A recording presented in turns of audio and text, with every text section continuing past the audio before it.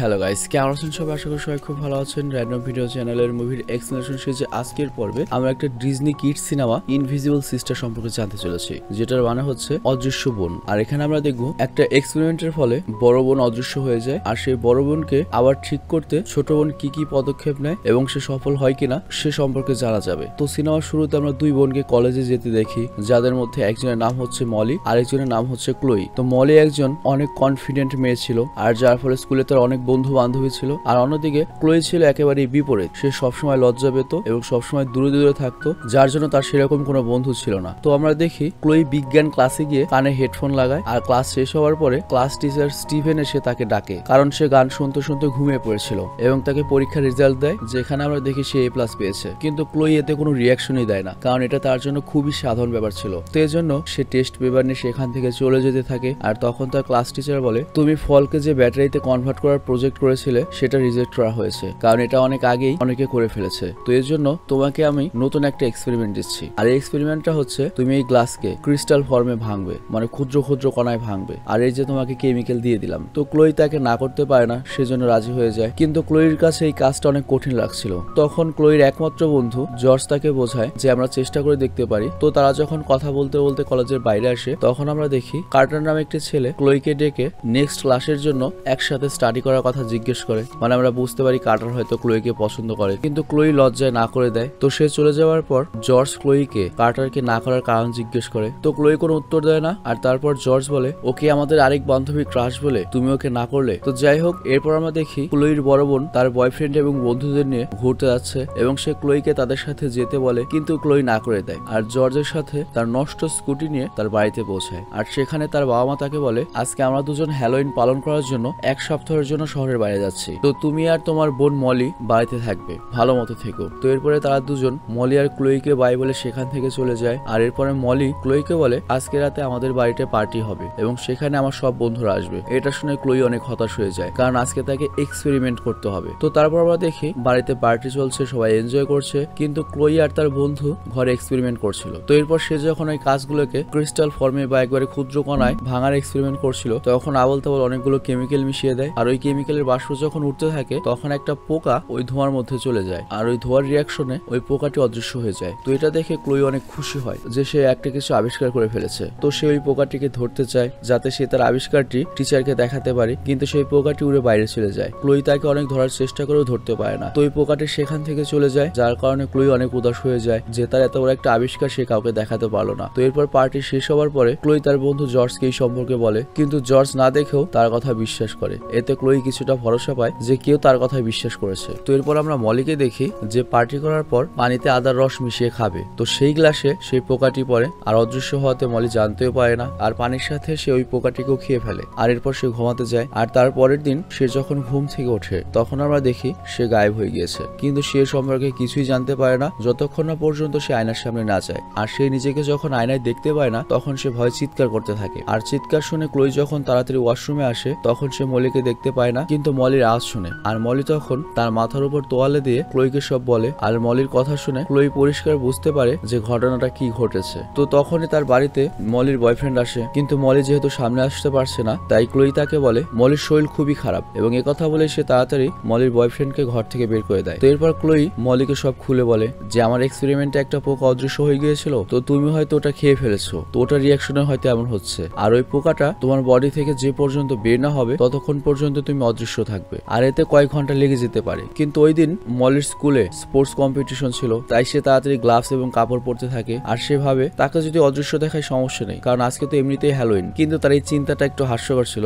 যাই হোক, একটু পরে আমরা দেখি, তার কাপড় অদৃশ্য হয়ে যাচ্ছে। তো এখন মলের কাছে কোনো উপায় ছিল না। তাই সে ক্লুইকে বলে, তোমার হাইট গলার কণ্ঠ এবং বডি শেপ আমার প্রায় সেম তো তুমি আমার পোশাক পরে কলেজে যাবে আর একটা মাস্ক পরবে। তো এরপর ক্লুইকে সেভাবে পাঠানো হয়। আর সত্যিই কেউ চিনতে পারে না এটা ক্লুই। আর তখনই তার কাছে জর্জের কল আসে আর জর্জ বলে, তোমার বোন তো আমার সামনে দাঁড়িয়ে রয়েছে। আজব একটা পোশাক পরে এবং মাস্ক পরে। তুমি কেন আসলে না? আসলে ওটা ক্লোই ছিল, আর ক্লোই তাকে বলে, আজকে আমি খুব অসুস্থ, এই জন্য স্কুলে আসতে পারব না। তো এরপরে ক্লুই মলির ক্লাসে যায় এবং ক্লাস টেস্টে সে এমএনএস পায়। মানে খুব ভালো রেজাল্ট করে না। আর ক্লোই পরীক্ষাতে প্রশ্নের উত্তর দিয়েছিল কিন্তু মলির সাজেশনে তো রেজাল্ট খারাপ হওয়াতে ক্লোই বাইরে এসে মলিকে বলে, পড়ালেখা একটু মন দিও। তো যাই হোক মলি এসব আমলে নেয় না এবং বলে, ল্যাবে থেকে মাইক্রোস্কোপ নিয়ে আসো এবং নতুন করে এক্সপেরিমেন্ট চেক করো যে কীভাবে আমাকে আবার ঠিক করা যাবে। কিন্তু এরপর আমরা দেখি ক্লোইকে মলির বন্ধুদের কাছে যেতে হয়। আর সেখানে যাওয়ার পর আমরা দেখি মলি রূপী ক্লোইকে দেখে সবাই খুব খুশি হয়। আর ওদিকে মলি যায় মাইক্রোস্কোপ চুরি করে আনার জন্য, কারণ সে অদৃশ্য ছিল। তো সে যখন মাইক্রোস্কোপ চুরি করছিল,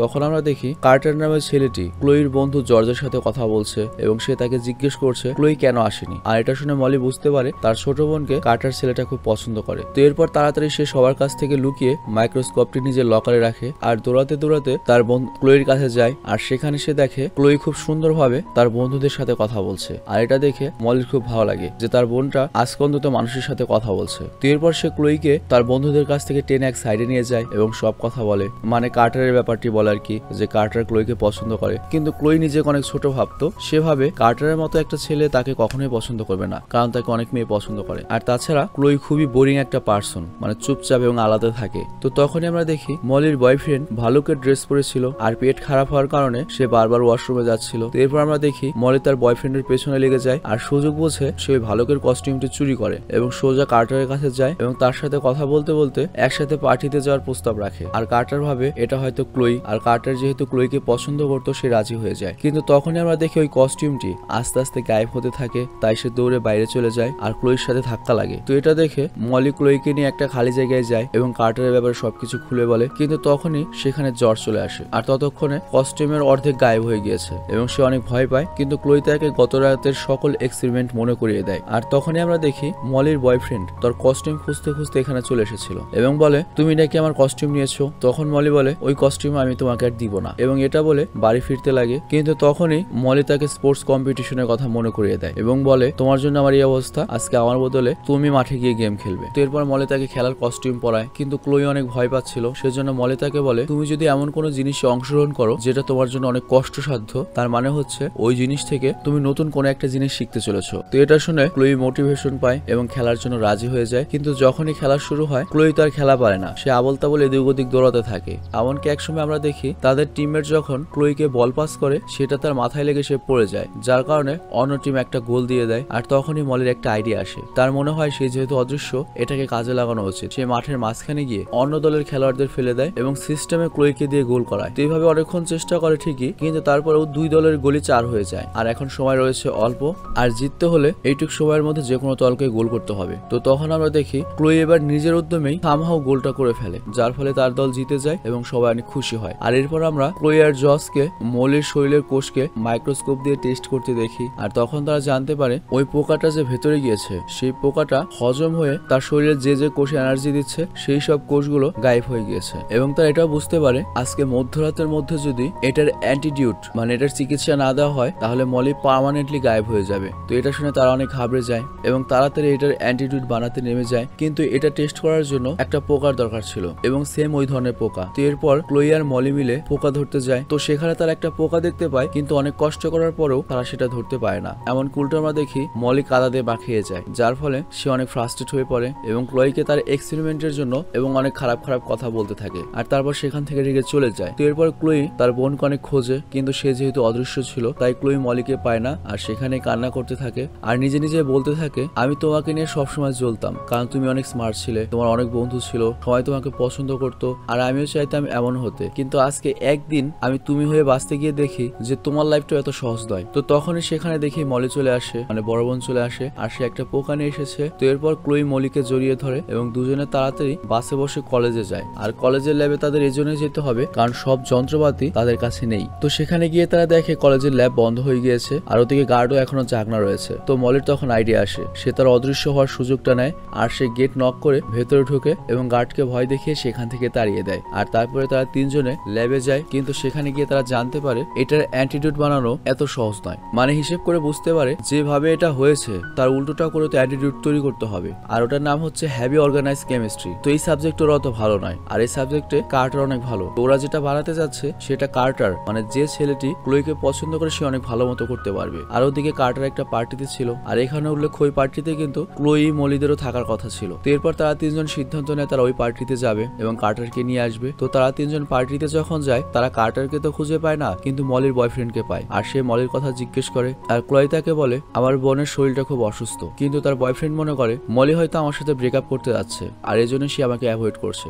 আর এরপর সে কান্না করতে থাকে। তো এটা দেখে মলি তাকে অদৃশ্য অবস্থায় বলে যে দেখো আমি অদৃশ্য হয়ে গিয়েছি এবং বাকি সবকিছু খুলে বলে, আর তখন মলির বয়ফ্রেন্ড মলিকে ঠিক করার জন্য তাড়াতাড়ি কাজে লেগে পড়ে এবং তারা সবাই মিলে ভেতরে যায় এবং কার্টারকে খুঁজতে থাকে। আবার ওদিকে মলির বান্ধবী জর্জকে মলির কথা জিজ্ঞেস করে, যে ওকে দেখেছ কিনা? আর এখানেও লক্ষ্য, তার একটা পারফরমেন্স করতে হবে আর মলিকে ছাড়া সে সাহস পাচ্ছে না। তো এটা শোনার পর জর্জ বলে, তুমি যে কোনো কিছু করতে পারো, কারও সাহায্য ছাড়াই, জাস্ট তোমার নিজেকে নিজে সাহায্য করতে হবে। তো এইভাবে তাকে মোটিভেট করে, আর তারপর জর্জ তাকে ডেট করার জন্য জিজ্ঞেস করে, আর নিকি রাজি হয়ে যায়? আর অন্যদিকে আমরা দেখি ক্লোই কার্টারকে খুঁজে পেয়েছে এবং কার্টার ক্লোইয়ের উপর অনেক রাগ করে এবং বলে, তুমি আমাকে এই পার্টিতে আসতে বলেছ, কিন্তু তুমি সময় মতো আসনি। তার মানে কি তুমি আমার সাথে ঠাট্টা করেছিলে? তখন ক্লোই তাকে সরি বলে এবং সে বলে, আমি আমার বোনের মতো স্মার্ট হতে চেয়েছিলাম, কিন্তু আমি তো পুরো উল্টো। যার জন্য আমার মনে হয়েছে, তোমার মতো একটা ছেলে যাকে অনেকেই পছন্দ করে, সে আমাকে কখনোই পছন্দ করবে না। আর এর জন্যই আমি একটু দূরে দূরে থাকতাম। তো এটা শুনে কার্টার বলে বাট আমি যে তোমাকে অনেক পছন্দ করি। তো ক্লোইও সম্মতি জানায়, কিন্তু হাতে বেশি সময় ছিল না, কারণ মধ্যরাতের আগেই অ্যান্টিটিউডটা তৈরি করতে হবে। তো এরপর ক্লোই সবকিছু বলে দেয়। আর তারপর আমরা দেখি তারা পাশের স্টোর রুমে যায়, যেখানে বাকি সবাই রয়েছে। আর সেখানে মলি ছিল। তো প্রথমে কার্টার তো বিশ্বাস করছিল না। তো মলির উপর একটা তয়লা দেওয়া হয়। আর কার্টার এটা দেখে অজ্ঞান হয়ে যায় যে সত্যি যে বাষ্পের কারণে পোকা অদৃশ্য হয়ে গিয়েছিল, আর সেটা খাওয়ার ফলে মলি অদৃশ্য হয়ে গিয়েছে। তো এরপর কার্টার বলে, যেহেতু বাষ্পের কারণে ওই পোকাটি অদৃশ্য হয়ে গিয়েছিল, তো আমাদের ভিন্ন ভিন্ন কয়েকটা রাসায়নিক দিয়ে স্টেট চেঞ্জ করে আবার বাষ্প তৈরি করতে হবে। আর সেই বাষ্পের পানি মলিকে খাওয়াতে হবে। আর তখনই জর্জ বলে টোটাল চব্বিশ ঘণ্টা হতে আর চল্লিশ মিনিট সময় রয়েছে। তো এই জন্য তারা স্টোর রুমেই অ্যান্টিটিউড বানানোর সিদ্ধান্ত নেয়। তো এই জন্য আশেপাশে যা রয়েছে, তা দিয়ে এখানে ল্যাব বানিয়ে ফেলে। তো তারা যখন অ্যান্টিটিউড বানাতে লেগে যায়, তখন আমরা দেখি অ্যান্টিটিউড বানানো তো হয়েছে, কিন্তু তখন মধ্যরাত হতে আর মাত্র পঁয়তাল্লিশ সেকেন্ড সময় ছিল। আর সেজন্য ক্লোই তাড়াতাড়ি একটা কাপে সে বাষ্পের পানি ভরে, কিন্তু তখনই ক্লোইর বিজ্ঞান ক্লাসের টিচার সেখানে এসে তাদের গেট খুলতে বলে, কিন্তু ক্লোই তাকে ইগনোর করে। মানে দরজা খুলো না, আগে আমরা মলিকে বাঁচিয়ে নেই। তো এরপর তারা মলিকে সে ওষুধটা দেয়, কিন্তু এখন মাত্র দশ সেকেন্ড সময় রয়েছে। কিন্তু মলি সেটা খায় না। সে উল্টো কি করে? দরজা খুলে দেয়, যাতে বিজ্ঞান টিচার এখানে চলে আসে। তো বিজ্ঞান টিচার যখন এখানে আসে, তখন মলি সবকিছু খুলে বলে যে, ক্লোই এক্সপেরিমেন্ট করে এমন একটা কিছু আবিষ্কার করেছে, যার জন্য আমি অদৃশ্য হয়ে গিয়েছি। তো আমার ছোট বোন ক্লোই খুবই মেধাবী। আমি চাই ওকে আপনারা স্কলারশিপ দেন। তো এটা দেখে টিচার অনেক খুশি হয়, কিন্তু মলির অবস্থা দেখে অনেক হতাশ হয়ে যায়। কারণ সময় শেষ হয়ে গিয়েছে, মলি আর কখনো দৃশ্যমান হতে পারবে না। তবে তারপরেও মলি সেই ওষুধটি খায়, কিন্তু সত্যি সত্যি এখন আর ঠিক হয় না। আর তখন ক্লোই কার্টারকে একটা অন্য উপায় খুঁজতে বলে। তো তখন কার্টার বলে, তার পেটে সব খাবার ডাইজেস্ট হয়ে গিয়েছে, যার জন্য এটা ঠিক করার সম্ভাবনা নেই। কিন্তু তখনই ক্লোইর মনে পড়ে, কাল রাতে মলি গরুর মাংসের বল খেয়েছিল, যেটা ডাইজেস্ট হতে অনেক সময় লাগে, আর এর জন্যই সে আদার রস খেয়েছিল তাতে তাড়াতাড়ি ডাইজেস্ট হয়। কিন্তু তখন ক্লোইর মনে হয়, আমার বোন ওই পোকাটি খেয়েছিল হচ্ছে আদার রসের সাথে, তাহলে এই অ্যান্টিটিউডটি আদার সাথে মিশিয়ে দিই। আর এটা মনে করেই সে একটা জিঞ্জার প্যাক বা আদার পাউডার ওই অ্যান্টিটিউডের সাথে মিশিয়ে দেয়, আর মলি সেটা খেয়ে নেয়, আর খাবার সাথে সাথে সে আগের মতো হয়ে যায়। আর তখন সবাই অনেক খুশি হয় এবং একজন আরেকজনকে জড়িয়ে ধরে আর বাইরে গিয়ে এনজয় করতে থাকে। তো এরপর আমরা দেখি টিচার ক্লোইকে একটা সায়েন্স সেমিনারে নিয়ে যায় এবং সেখানে বক্তৃতা দিতে দেয় আর যেখানে ক্লোই দৃশ্যমান জিনিসকে কীভাবে অদৃশ্য করা যায় এ নিয়ে বক্তৃতা দেয়। আর এই থিওরি এর আগে কেউ কখনো দেয়নি। যেটা শুনে সে অনেক বাহাবা এবং সম্মান পায়। আর এ কারণে তার বাড়ির লোক অনেক খুশি হয়। আর মুভির শেষ দৃশ্যে আমরা দেখি তারা সবাই রেস্তোরাঁয় পার্টি করছে এবং মলি ক্লোইকে জড়িয়ে ধরছে। তো যাই হোক, এটা খুবই সিম্পল একটা সিনেমা ছিল। আর এই সিনেমাটি আমরা এক্সপ্লেন করেছিলাম হচ্ছে একটা কমেন্ট দেখে। তবে আমার মনে হয়েছে কমেন্ট দেখে এই সিনেমাটা এক্সপ্লেন করা আমার খুবই ভুল হয়েছে। সিনেমাটা ভাই আমার কাছে মোটেও ভালো লাগে নাই। আপনার কাছে কেমন লেগেছে সেটা কমেন্টে অবশ্যই জানাবেন। তবে তারপরেও অন্তত দশ মিনিটের মধ্যে আমরা একটা নতুন সিনেমা সম্পর্কে তো জানতে পারলাম। ভালো মন্দ সেটা পরের কথা। ভালো থাকবেন, সুস্থ থাকবেন টেকে আল হাফেজ।